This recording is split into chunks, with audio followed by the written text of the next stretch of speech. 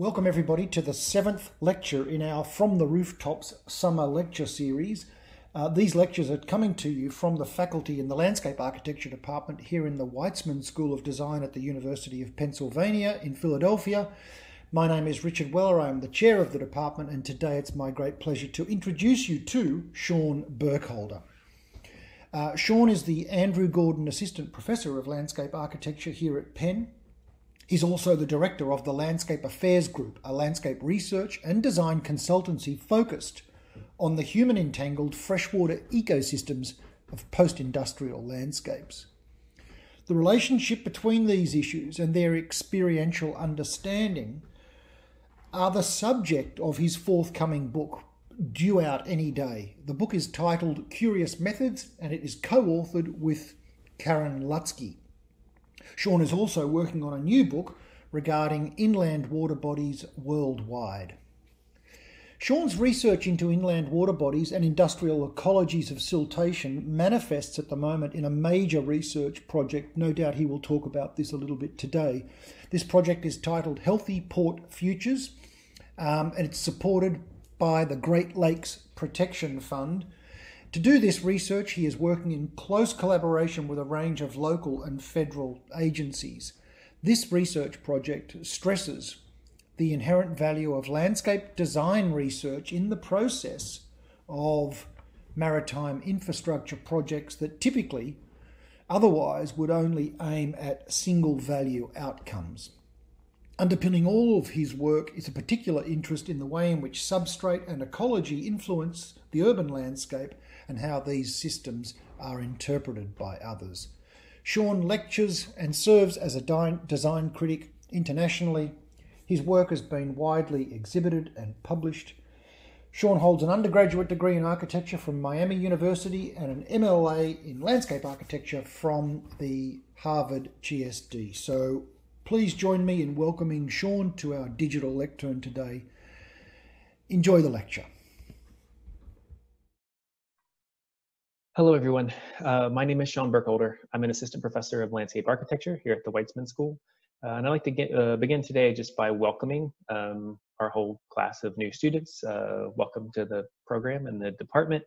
Uh, and for those of you who are continuing in the program or from elsewhere, um, I certainly hope that this, uh, this talk today will be, um, if nothing else, entertaining for all of you. So um, I'd like to welcome you all and thank you for joining. I'm going to share my screen.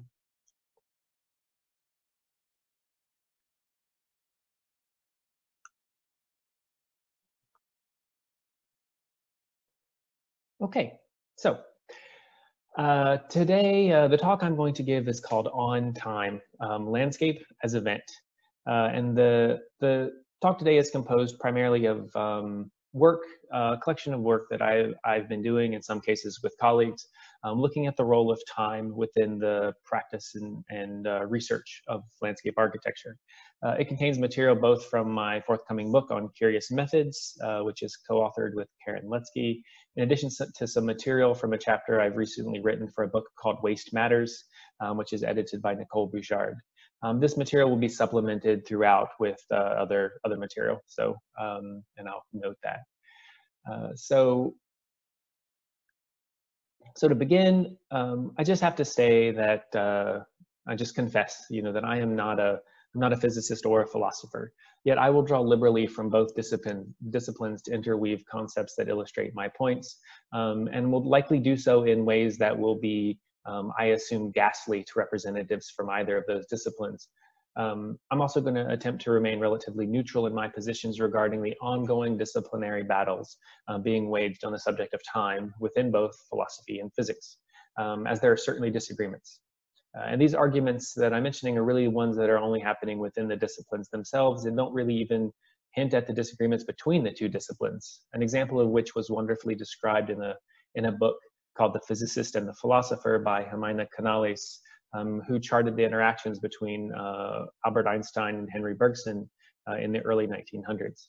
So if two of the greatest minds of the earliest 20th, 20th century couldn't reach a conclusion um, or a consensus on the subject of time, there's probably little hope for us pretending that we're going to um, reach a conclusion over the course of this talk. Uh, that said, I do believe there's a need for a continual reconsideration of the nature of time within the discipline of landscape. This continual reconsideration is necessary for two reasons.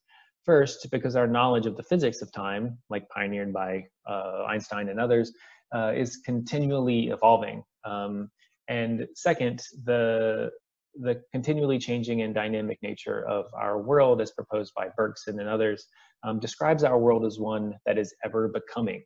Um, so for these reasons, things are both ontologically and epistemologically changing constantly.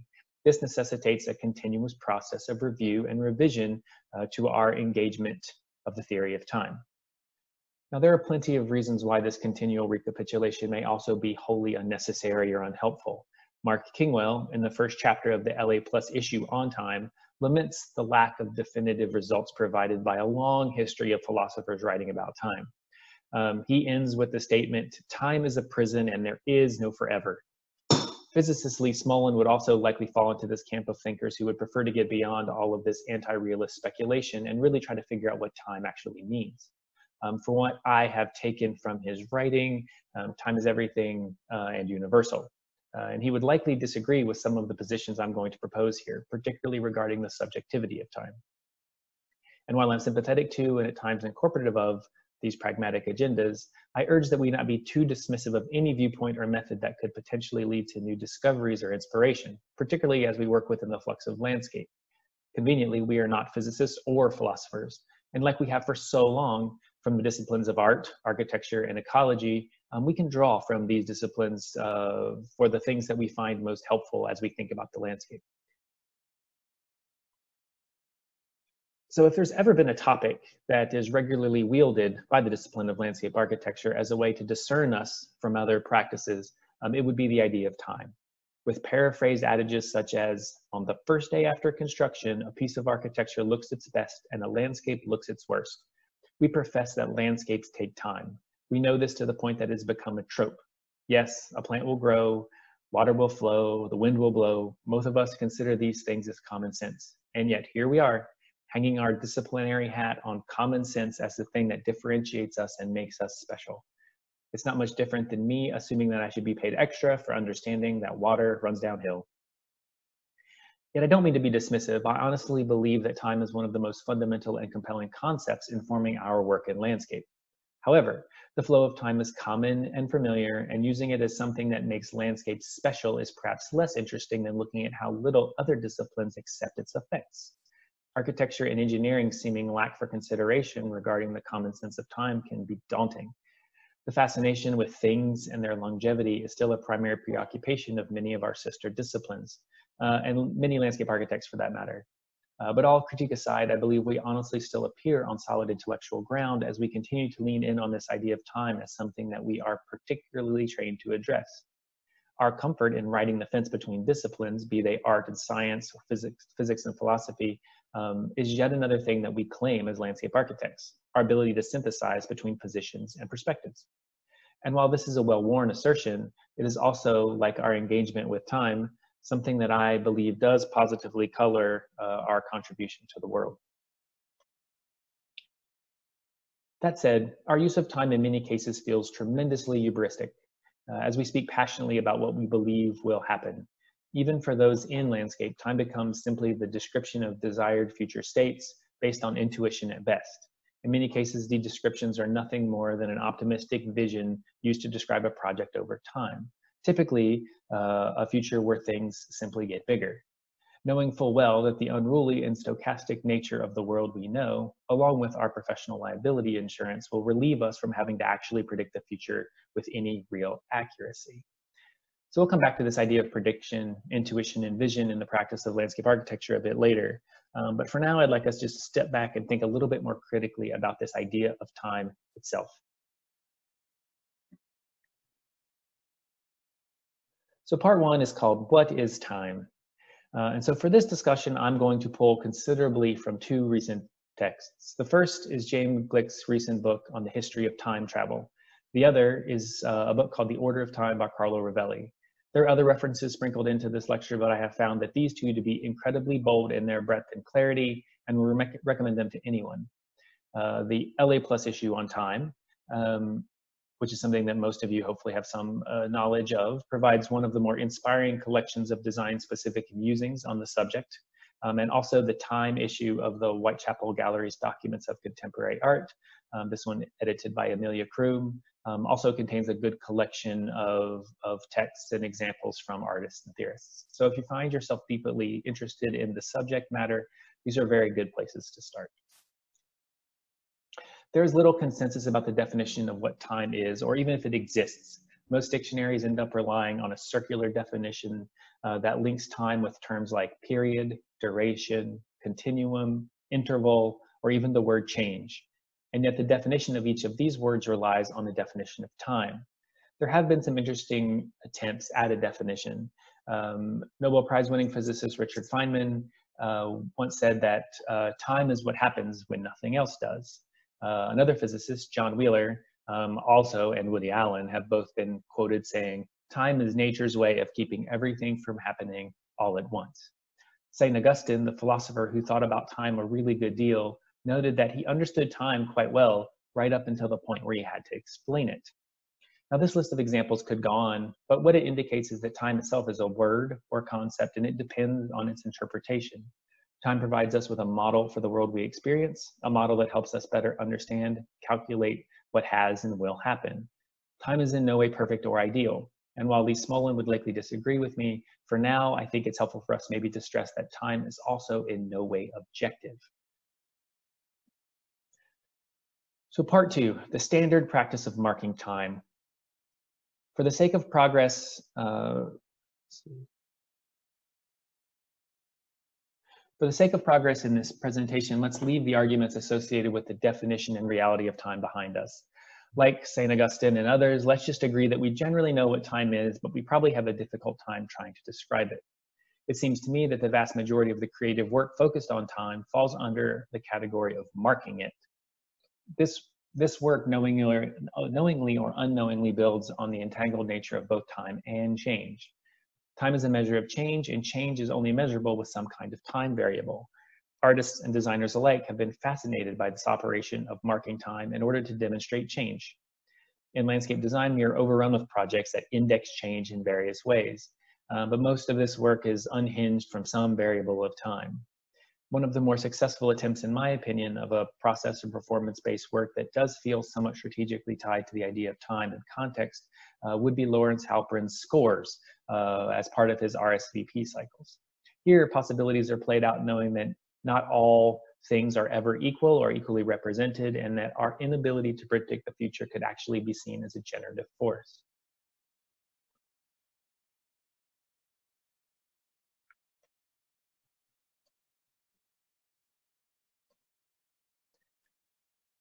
Photography and even painting has a long history also of this marking of time. Um, and as our techniques and technologies develop, you can uh, assume that our um, skills at doing this will continue to expand.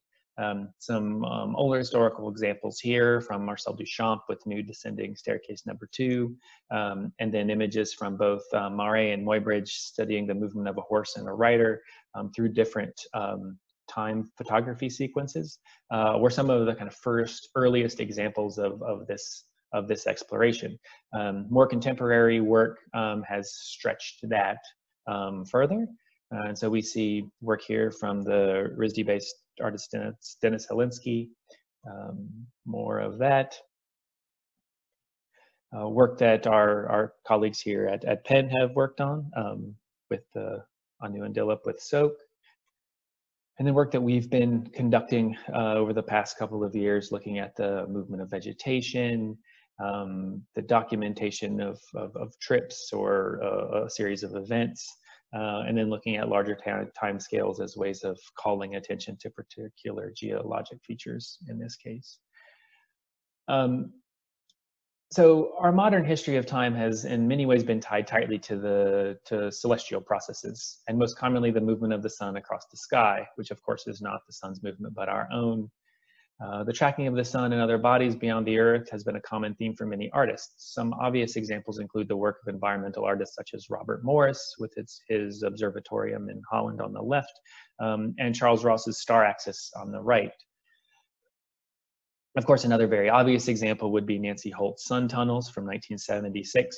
Um, here looking at the idea that uh, we can frame a series of views or a series of celestial events through some tunnels. So thinking again, we'll come back to this idea of an event. Um, but here that event is twofold. Um, of course, the event happens, the sun shines through this um, at a particular time of the year, um, but along with it is the event associated with people actually coming to see it. And so um, it becomes an interesting um, nested uh, condition of events, of events here. So how I'm going to break this work, uh, I'm going to kind of uh, talk about time in a series of, of frames. Um, I'd like to talk about several of the characteristics of time and uh, interpretations that I think might be constructive when we think about it um, in the terms of landscape. I'm going to call these interpretations time frames um, as they seek to construct a particular lens or frame to possibly understand our work through the configuration of various ideas, primarily through physics and philosophy. Uh, they are by no means the only possible frames, nor are they unrelated to one another. They are only my personal takes on a series of configurations that may open more doors to the work we do with a particular focus on this idea of time that we are purportedly so invested in. So frame number one. The past is no future, or the problem of prediction. This frame is probably the most straightforward and clearly applicable to our work in landscape architecture, primarily because it is a reflection of what we presently do. We all have produced projects that describe a future desired condition, something that is likely not based on either the methods of prediction that use the path to methodically guess at, at the future, uh, or of projection that use mathematical probability to suggest future states. Instead, we typically just throw, show things growing larger over time. It is a gross generalization of our intuition of how things change, a generalization that contradicts many of our lived experiences. As a process, it rounds off the edges of what we experience and discredits things do not, that do not happily line up with our expectations. So recently I watched this street tree get ripped up and ripped in half by a street cleaning truck on my street. Um, its future will not be a bigger version of its past, but instead will be a reshaped one. And for a couple of years, its future will actually be a smaller, uh, will be smaller than its past. Things are complicated and do not just dumbly flow from small to large. So finding ways of acknowledging this reality is one of the more interesting undertakings I believe we should be invested in. What are these everyday experiences or glitches that contradict what we consider common sense in our overall generalizations of the world, and how can we empower them? Or put another way, how can we deliver agency to systems or events that run counter to preconceived order uh, that perhaps is not even in order at all? Uh, we should stop rounding off the corners because in many cases it's the corners that make things important or meaningful, uh, not the neat boxes that we have shoehorned everything into. At the scale of landscape, we make giant assumptions about how things work, and seldom do they include the anomalous events that we experience daily or recognition of the ranging rates of change associated with our world. One of the most obvious examples uh, that I observe in design projects is the prediction of technology. Projects that claim to have a plan for 50 years in the future, which is a scale that does work reasonably well for the growth of woody vegetation or large erosion patterns, uh, will simply gloss over what the future may actually be like technologically, as if trees and soil are totally, totally disconnected from technology.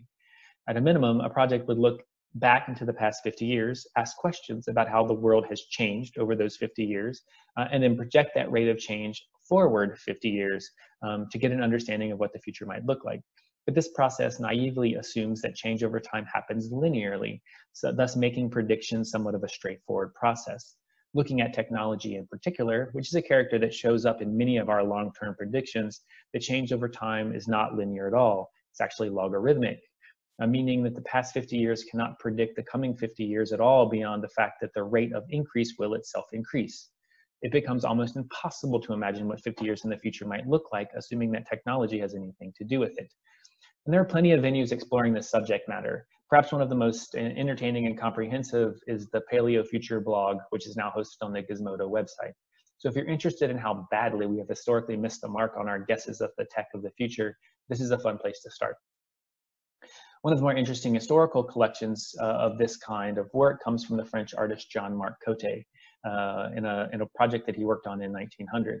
Um, this was a set of cards that depicted various inventions or situations that would exist in the year 2000.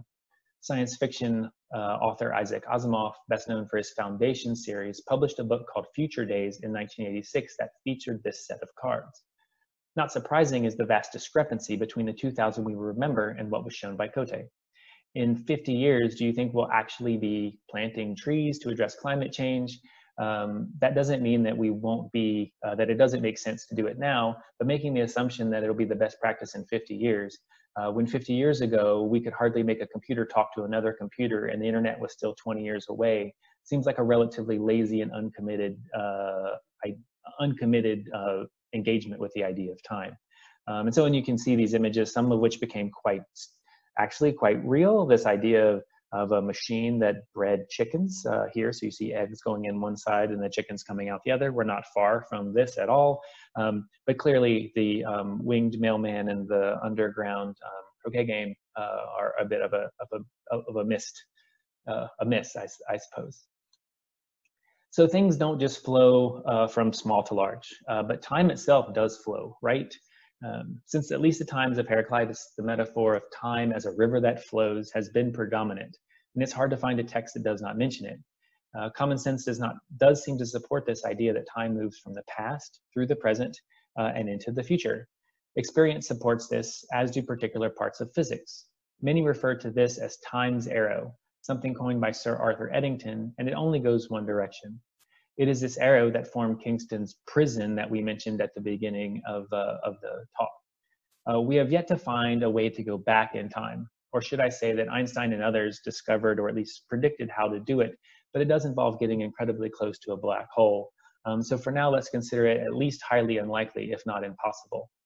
While experience strongly validates this arrow of time, many equations in physics, uh, many equations in physics are actually time symmetrical, meaning that they work both forward and backward uh, without concern for time. You simply change the positive to a negative and things flow neatly into the past and the math all seems to work out or so I'm told.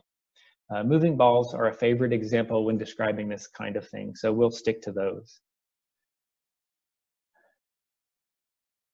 So we can show a video of a ball moving across a table, or in this case, a floor, um, in one direction. We can play that movie backward, um, and the videos feel fine. There's nothing odd about it. Um, honestly, Newton's laws of movement apply equally to both of these, and so um, even though the second ball is actually moving backwards in time, there is nothing that feels overly strange about, about that situation. Um, it's when objects come to a rest or come to a stop uh, where things begin to become difficult. Um, so if we slowly watch this ball come to a rest on my incredibly uneven floor, um, and then we get, begin playing that movie backwards, which will we'll begin momentarily um, we begin seeing uh, an object going from a stationary position to a moving one without any help. This video defies the second law of thermodynamics, uh, that systems move from states of lower entropy to states of higher entropy. Um, we simply know that a ball cannot start moving on its own. And so watching a video like this um, is somewhat creepy. Filmmakers have been using this to great effect. Um, and one of the most memorable, at least for me, is the final scenes in Andrei Tarkovsky's film Stalker. Um, here uh, we see the stalker's daughter uh, named Monkey uh, at the very end of the film. Um, she's uh, mute and also has uh, some disabilities associated with her father's occupation, taking people into a highly polluted landscape. Um, and as she as she sits and begins to stare at this at this glass, we see the glass begin to move across the table. Um, now, this, uh, of course, as we've said, defies the second law of thermodynamics. Um, and again, looks looks odd. That's the the effect that this uh, happens. That this is something that um, is simply not normal or or or or, or common. Um, if we played this video backwards, and uh, in certain ways, the idea that we could very easily slide a glass over to this woman um, and have the glass stop in front of her, um, like a bartender might do at a bar, um, and that would feel much less strange than watching um, watching this. Um, and this has been a kind of a favored technique um, for, for quite a while. So what we'll do is, is here we'll kind of show, uh, this is a video from 1895 by the Lumiere brothers of France. Uh, this is The Mechanical Butcher. This was thought by some to be one of the first science fiction films ever made.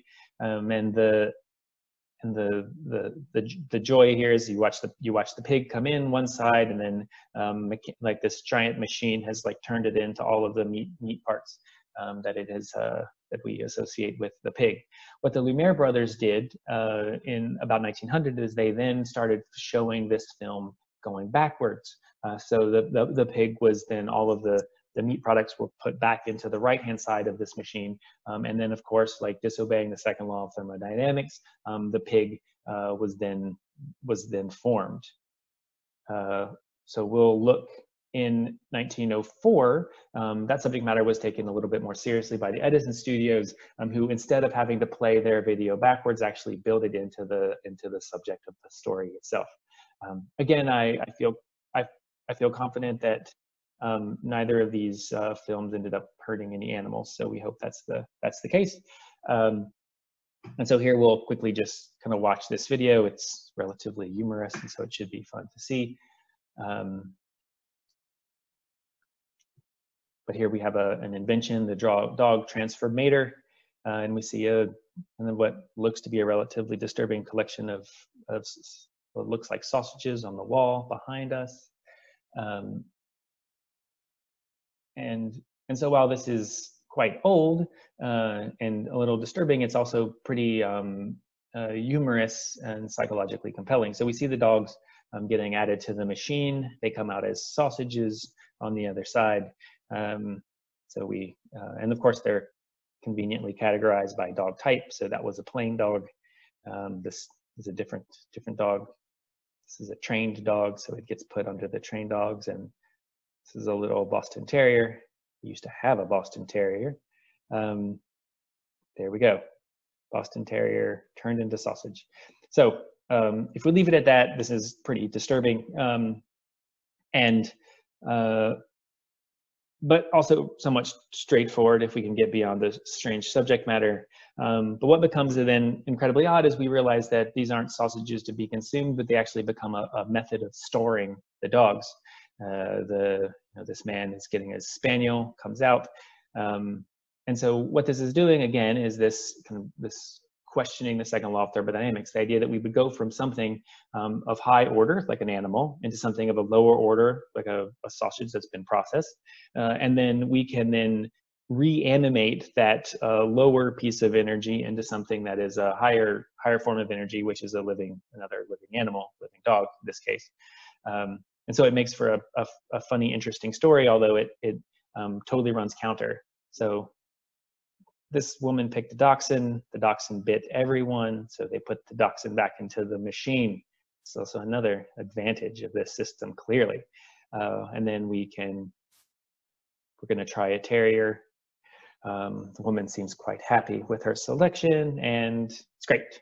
So we now have, so I'll keep chatting a second. This video goes on for a bit longer, um, but we'll, um, uh, and so I'll let it play for a couple of seconds before I move on. Um, so while at the molecular level, there are many processes that are mathematically and temporally symmetrical, the world that we experience uh, and that we inhabit is overwhelmingly filled with events that are thermodynamically tied. Uh, in many ways, uh, the world that we know is, is, is heat-based.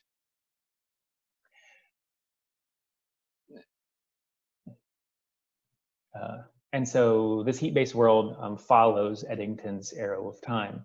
Um, so if this is how many of us experience the world, it makes sense that we just take this condition as a given uh, and then use the information of the past to begin speculating on um, what exists in the present and what could happen in the future.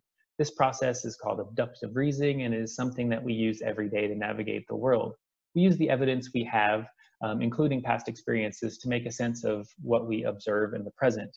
Uh, sometimes this is also called inference to the best explanation uh, we observe an effect and then speculate on its causes. And while this process is something that many of us consider common sense, it doesn't take long to see where it could go wrong uh, uh, as we use it to project into the future. Because in that case, neither cause and effect or given. The evidence that we use um, is information that we have on hand. Um, it could be any experience, it could be any written text, or any event from our past whatsoever. There's far too much evidence, and so we have to choose, and we can't choose it all. And then, of course, this gets fed into, of course, the unpredictability of time. Logic has served us reasonably well in making guesses about what something is. Um, it has also failed many times too, but uh, but because we have some record of past events that accompany it, um, we uh, we tend to be a bit more successful. um, what something might be in the future becomes much more challenging. Remember Cote's underwater croquet game, for example. We certainly have not reached that future, um, at least not that I'm aware of. Um, so arguing that something, uh, arguing about whether or not the, the leaves of my mangled street tree are green, assuming we have in a general agreed upon idea about what green is, um, is a relatively silly debate. Um, but figuring out whether or not they will be green in the future is another thing altogether. Um, they could change color in the fall, or due to an injury, uh, due to this injury, they could turn brown and die. Um, or yes, they could even stay green depending on the type of tree it is. Um, you can't answer what will be without answering when. And when, of course, is tied to the unpredictable nature of time. Um, while it can work and is done constantly, either through simple intuition um, or complex simulation modeling, assuming that the past will predict the future is not always the best method because time can and likely will screw something up. Now, I personally find the use of experiment as a useful tool to begin to understand the change at the, change at the landscape scale. This amounts to the idea of understanding the work that we do as landscape architects as probes or tests into a complex set of contextual conditions. Instead of assuming that we know what will happen in the future, the experiment accepts its ignorance and asks new questions about the present. The process of design becomes about learning as opposed to solving becomes about finding over fixing. Obviously, science has a long tradition of experimentation, and while every project ever constructed as landscape architecture could also be understood as an experiment, we seldom conceive our projects in that way. This is not to say that the objectives of experimentation are not to address challenges. Um, it is that seldom within landscape do we see our work as experimentation. Um, this here is a is a science is an experiment being conducted uh, by the University of Minnesota. I'm at the Cloquet Research Forest here in, north, in northern Minnesota, um, which is which is where they're actually modifying um, um, or controlling the amount of water and the amount of heat in the soil uh, to uh, to um, to simulate climate change and looking at how the vegetation responses um, of different plants uh, see what those responses are. Um, and so this here is a science experiment, like out in the landscape. The Dutch sand motor uh, is another example of a, of a project uh, that I, I, think I certainly find compelling along with others. Um, but this is actually more of a scientific and engineering project and is not something that many would associate with landscape architecture. Now, some of the work that we've been doing for our Healthy Port Futures project um, does lean on the idea of the experiment. So instead of attempting to predict the future, we've developed a set of experimental methods, both in the lab, which you can see, which you can see here, and out in the field to better understand the complex dynamics that inform coastal conditions. Now, these conditions are tremendously difficult to model accurately, and many design projects in this territory are myopically over-engineered to simply absorb the range of possible conditions. Instead of being sensitive and responsive to the forces around them, coastal infrastructures have a tendency to block, absorb, and withstand these forces to promote comfort uh, within our change-averse society. So uh, some of uh, the constructed experiments uh, that we've been working on uh, attempt to interact and leverage the contextual forces of a particular context uh, through a particular sensitivity to them. Um, the results of these interactions then are highly monitored and then used to inform future interactions in a process of adaptive management uh, as opposed to control.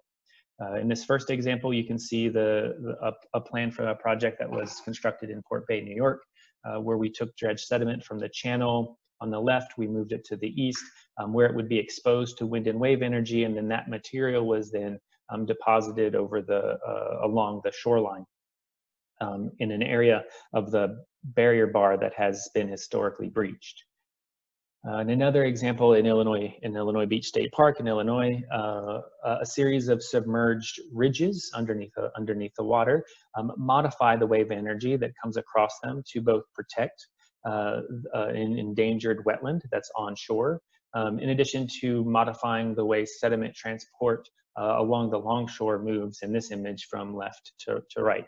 Um, and so again, like thinking about what the effects of this uh, of this operation uh, would be. Uh, and then all of these, again, as we've mentioned, are then highly monitored to understand um, what actually happens um, in response to the the uh, the constructed piece, so the experiment. So the takeaway here could simply be that we should be more creative, bold, and visionary in our speculations of the future, because we will be getting it wrong no matter what we say or show.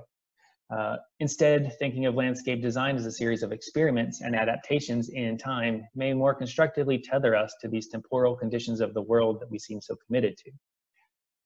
So that's frame number one. Frame number two, between tree time and bee time, or the subjectivity of now. As mentioned before, time is not an objective enterprise, physically or experientially. A good deal of the work of Newton attempted to describe a universal time by which we could measure all things.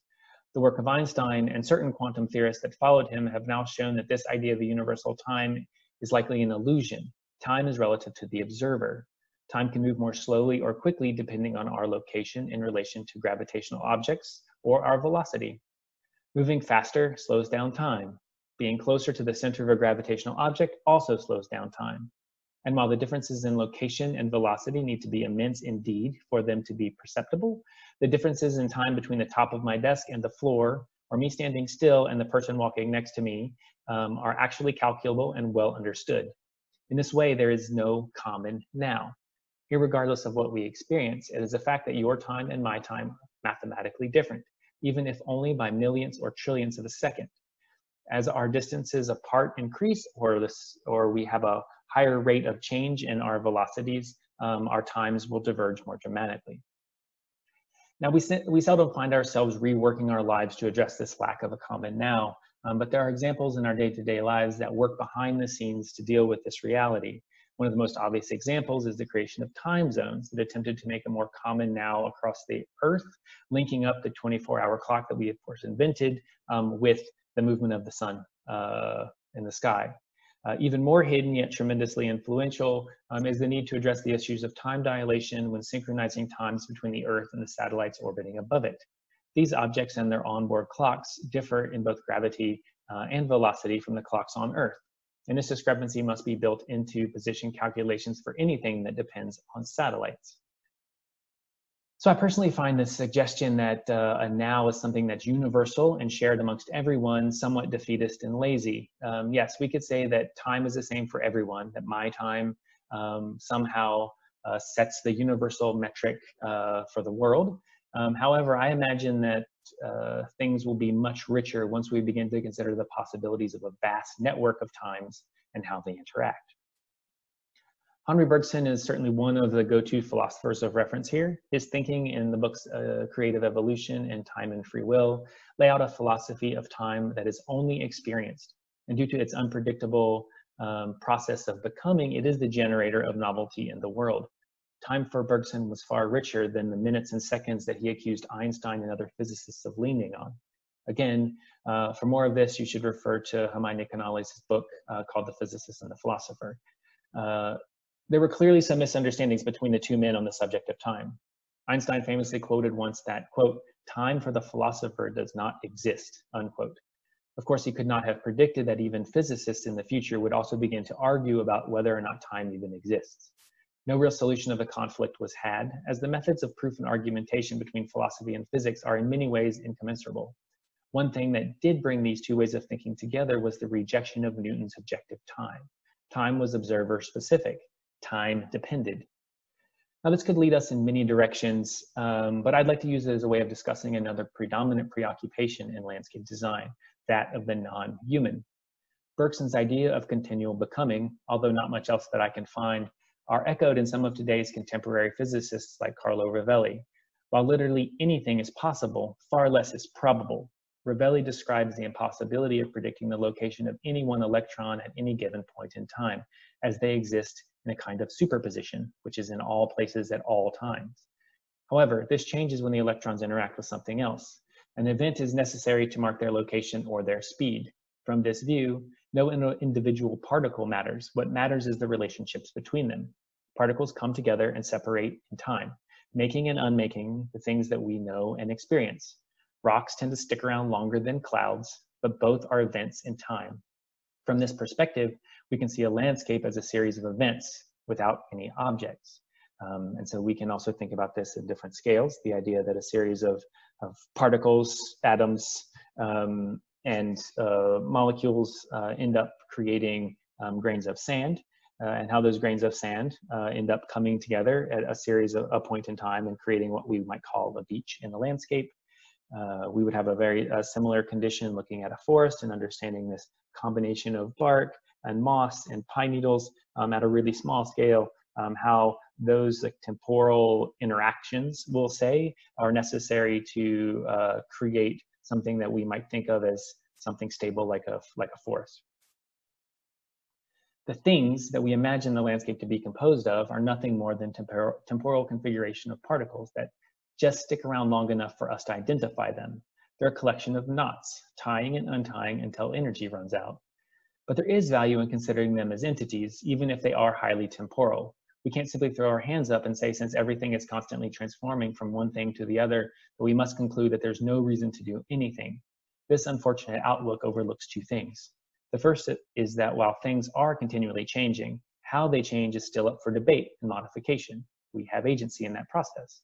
The second is that the entities themselves have value, even if they are temporary. There's a good reason to consider the life um, of another being, be it human or non-human, as something more than past plants and future mulch. There may also be value in considering the perspective of each of these entities. Um, uh, they could be seen as having their own durations of time. Um, and so maybe, yes, I've slid to the point where even rocks um, can experience things in some way. And while maybe not comparable to us, uh, they probably have some agency in the in the world. Uh, and so there might be some benefit in thinking about that. Uh, now there are there might be people that actually think that rocks have uh, objectives and trajectories, but we're not going to get that far. Um, we're going to stay a bit simpler and consider a recent book uh, by Marcia Bjornerud. Um, and uh, the book is called Timefulness, where she has a, a kind of a really nice quote um, that that is rocks are are are or should be considered verbs and not nouns. Um, this general call to arms of this text is understanding the value of relating to a geologic pace of time. Michel Serres in his book, oh, and also this geologic pace of time is something that certainly was embraced and leveraged by artists such as Robert Smithson, uh, of which the spiral jetty uh, is, is, in this image here on the right. Uh, philosopher uh, Michel Serres in his book, The Natural Contract, describes the social implications of these various times. Serres reminds us that the French word temps defines both time and weather. Using the analogy of the peasant and the sailor, he describes a past uh, uh, when we were required to understand the time of nature as opposed to the time of a clock. Um, those who make decisions, specifically called out by Serres as the journalists, the administrators, and the scientists, they do all of their work indoors and they tend to operate in a short term manner, even though our world operates in a long term manner um, there is a type of oppression that comes about by thinking at the at the short term, and so this temporal disconnect has a profound implication to Serres. Uh, two images here are two images on the left are images that we produced um, looking at the kind of the movement of a storm across the sky. So thinking about time and weather in this case, and in the center image, uh, linking aspects of weather. So the idea of, of trying to um, kind of tether or link together ideas of heat um, and wind uh, and how we might uh, explore their relationship in different unique ways. And while it is impossible to experience the duration of, of living or non-living entities, we can be incorporative and respectful of them. This was uh, this what what's next is a simple and relatively old chart that we made when we were working on the uh, a piece for the Third Coast Atlas that indicated the time cycles of important entities in the coastal environments where we were working. Um, and we understood that they were incredibly different, and this difference really, really matters. Um, artists have also done interesting things that I think begin to link up durations, or at least that's how I might interpret the work of someone like Tim Knowles, um, who looks at the relationship between wind and um, wind and trees and and how that uh, that relationship can be indexed with different types of vegetation, um, or Cameron Robbins, who develops relatively elaborate, um, uh, we'll say, um, weather machines as as ways of of, of scripting and drawing um, different pieces of artwork.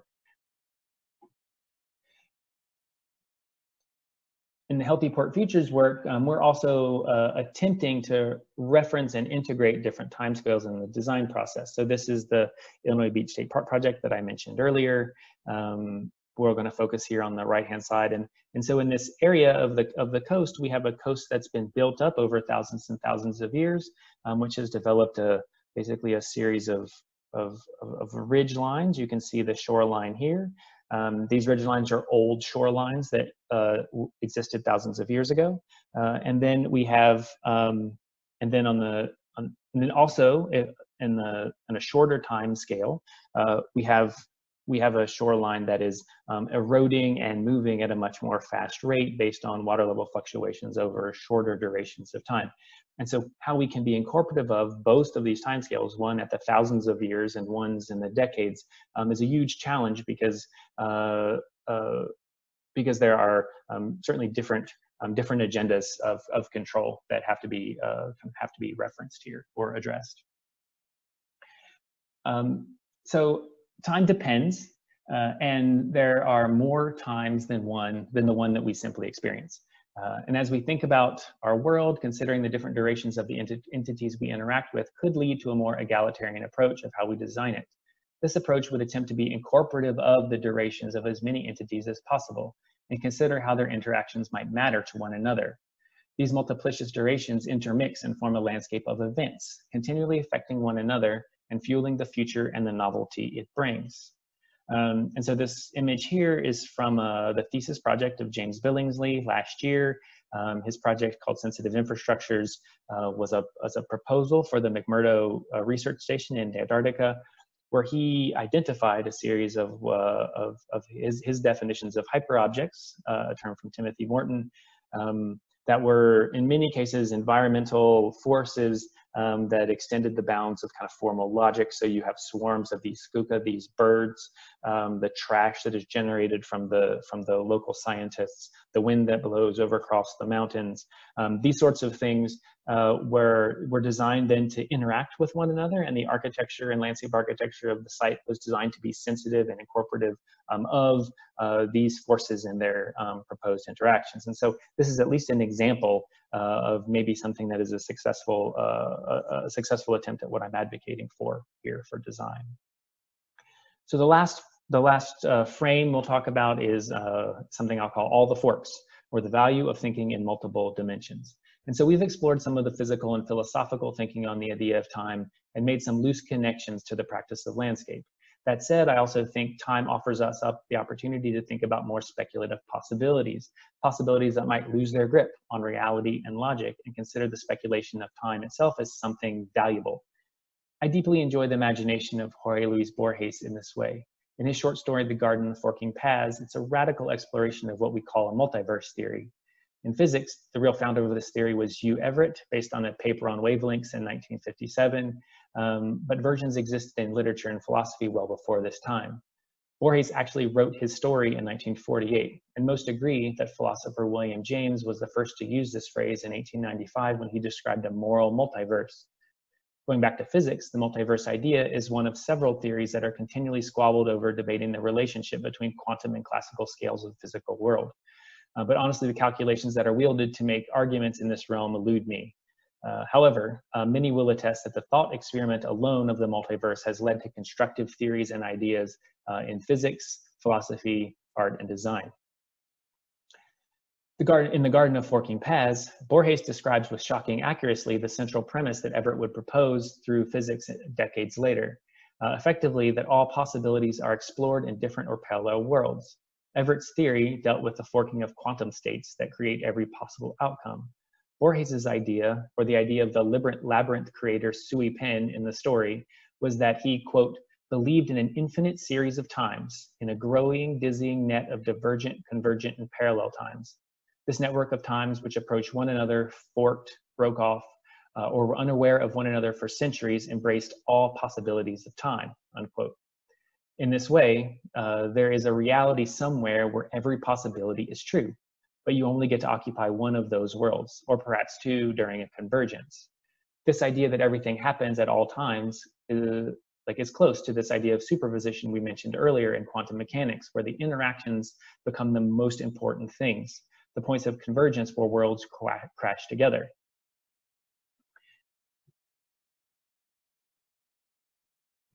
Uh, we'll go here.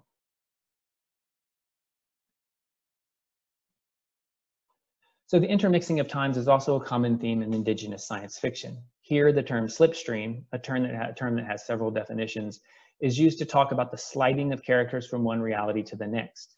It is one method used in what is called survivance storytelling, a term that is most commonly attributed to Anishinaabe scholar Gerald Vizenor. Uh, he defines survivance as an act of indigenous self-expression in any medium that tells a story about our active presence in the world now. He goes on to state that, quote, survivance is an active sense of presence, the continuance of native stories, not a mere reaction or a survivable name. Native survivance stories are renunciations of dominance, strategy, and victory, uh, and, and victimization. In his 1978 story, Custer on the Slipstream, Slipstream uh, Vizenor evokes Im, uh, imagery of General George Armstrong Custer, someone correctly understood by indigenous Americans as a genocidal madman.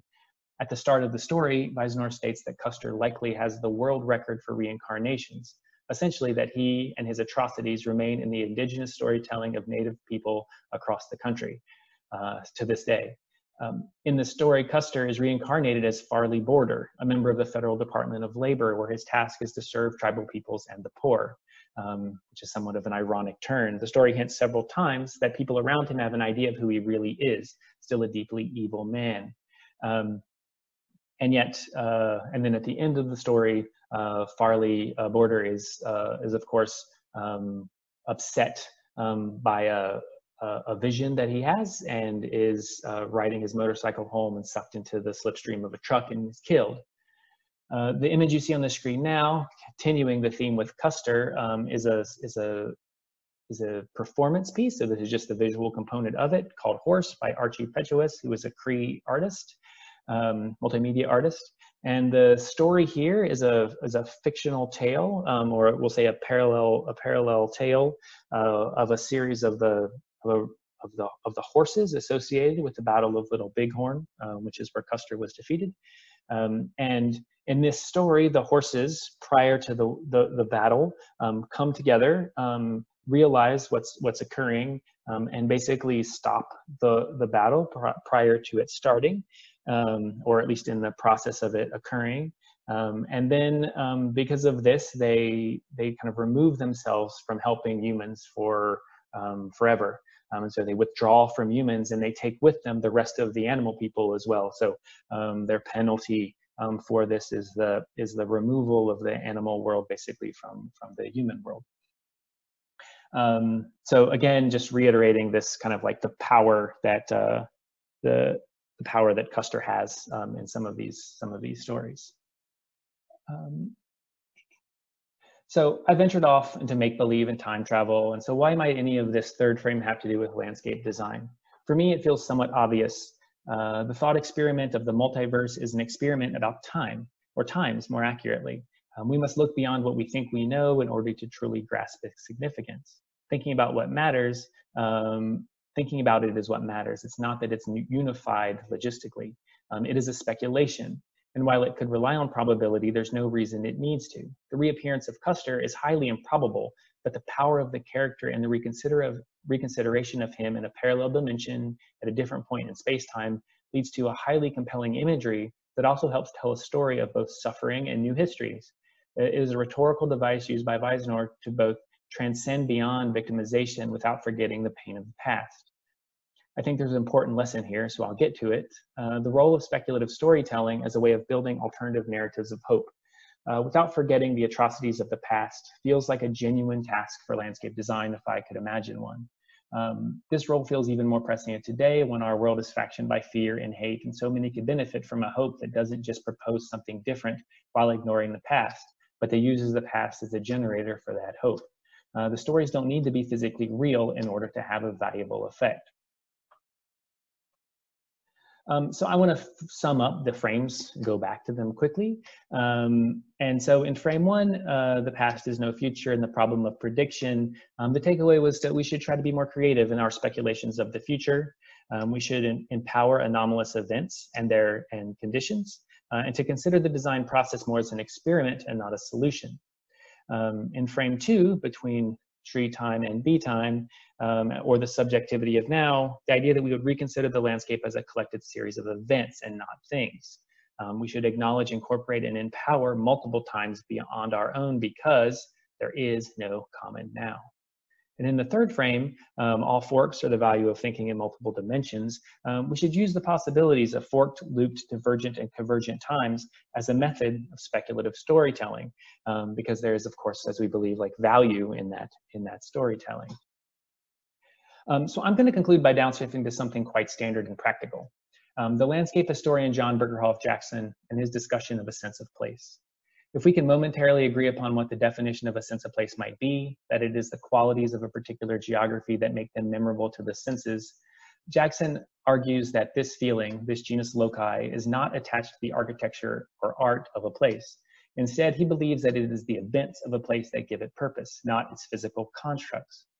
Jackson continues um, to assert that a sense of place is actually a sense of time crazy as it sounds, um, even looking through Jackson's somewhat old landscape history lens, um, we see a, a representation of, uh, of Rovelli's ideas that time is actually made up of events, not things. Pushing this further leads us to conclude that if the most influential components of landscapes as places are indeed events, and time is composed of events, then landscapes themselves could be understood as time, meaning that our job is to understand, reconsider, and design time itself. Um, this may come by way of, it sounds crazy, of course, but this may come by way of new considerations of what time is and what time could do. It may also come through an understanding of landscape and time as a collection of events um, that we have some ability to orchestrate and modify. So if we think in this way, then, then obviously time is real. Um, and it's easy to define because it is the medium that defines our profession. We design time itself. We don't design with time um, or in time, we actually design time. Um, and so so I will leave you all with with that. Um, I really hope that uh, this project has uh, at least inspired some curiosity on the subject matter of time, um, and maybe help will help inspire uh, your your future work and engagement with the with the subject matter. So I will um, with that I will stop sharing, um, and I will conclude and say thank you all very much for coming, and uh, um, yeah, goodbye.